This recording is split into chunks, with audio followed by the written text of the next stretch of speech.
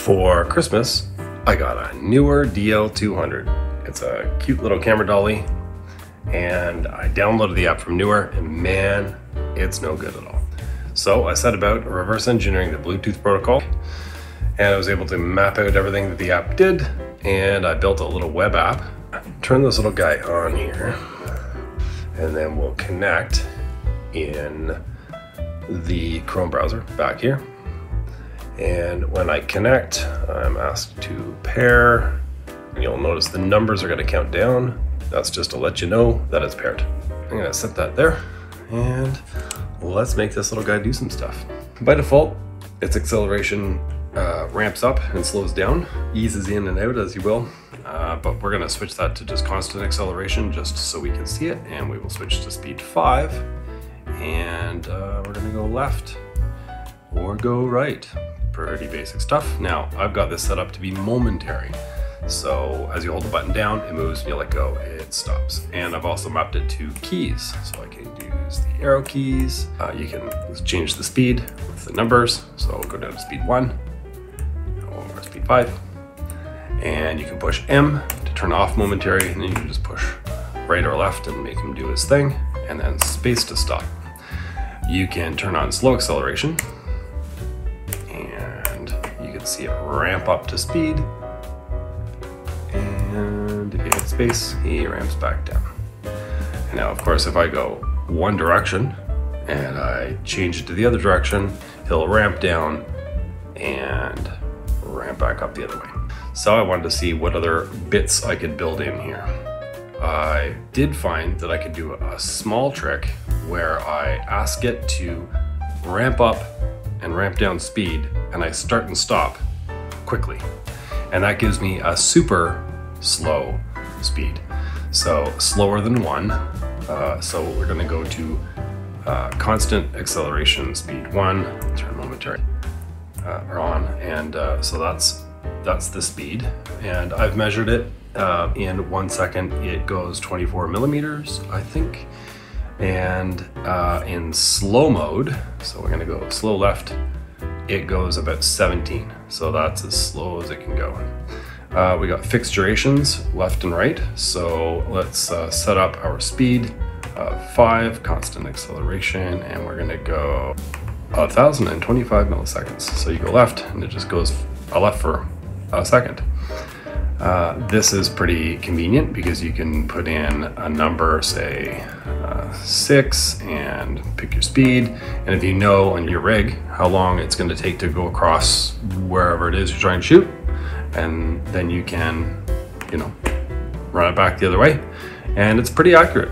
So I've got some tests down here with uh, speed left and speed right, where you can uh, you can measure how far you've gone. So let's do a little measurement here. USB key. Let's just adjust my camera here just so we can see sort of uh, how far it's going to move in one standard keychain measurement. All right, so I'm going to go uh, speed left. And I made it to, ah, it went from this ridge to that ridge. Okay, so we'll go back. So that's traveling for one second. Now here is super slow left. And in the same time frame, it made it about three quarters of the way. So it's about 25% slower, which is nice. And of course, the last bit is ping pong. Ping pong allows you to uh, set a duration and uh, repeat the sequence. So uh, let's just do something basic for now. We'll do one second and one second because, you know, I don't really want to have it fall off my desk and uh, you know just do this. And that's what he's going to do for now.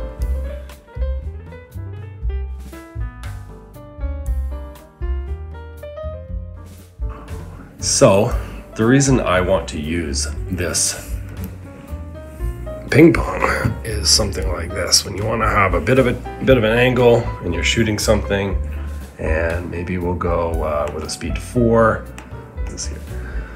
Four seconds stop Keep in mind that it takes a little while for the ramp down, so when you stop, it's still in motion for about a second and a half.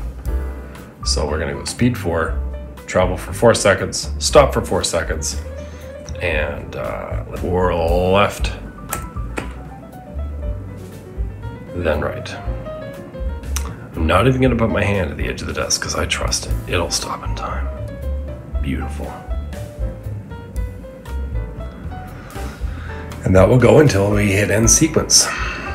Now I'll set up my gimbal and I'll show you what I had in mind for my gimbal shots. And, and maybe I'll do a shot and see how it turns out.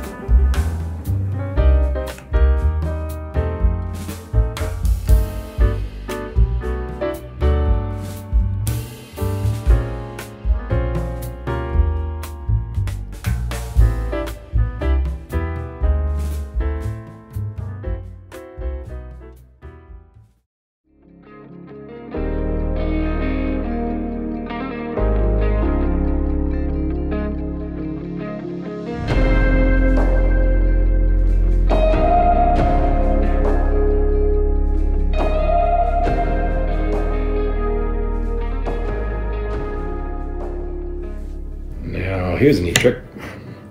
I'm using Blackmagic camera to uh, with a focal assist, so that I can see right where my subject is in focus.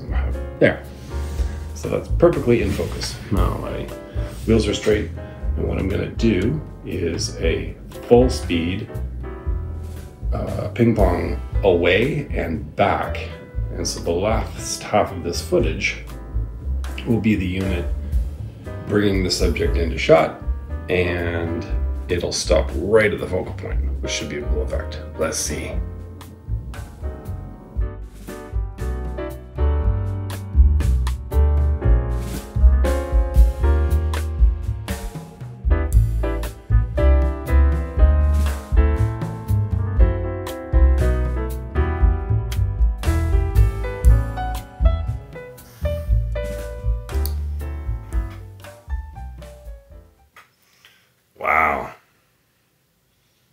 Am I taking a selfie of a selfie on a robot?